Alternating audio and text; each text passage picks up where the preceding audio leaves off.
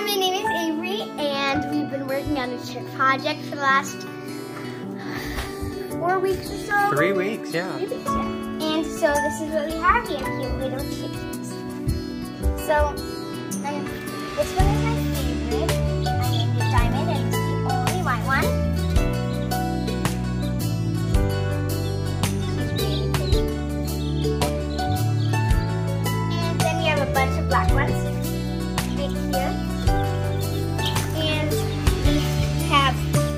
ones like this.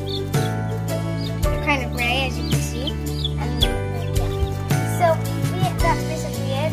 And one of them has like a like it's like in form right, and we put a rubber band on it because its leg slips out and it like rolls. And so now it walks like that. It can actually walk as a chick. So this is what I've been making the last few weeks. And what are you gonna do with so many chicks? We're gonna hopefully get lots of eggs from them. Okay, very good. Please subscribe.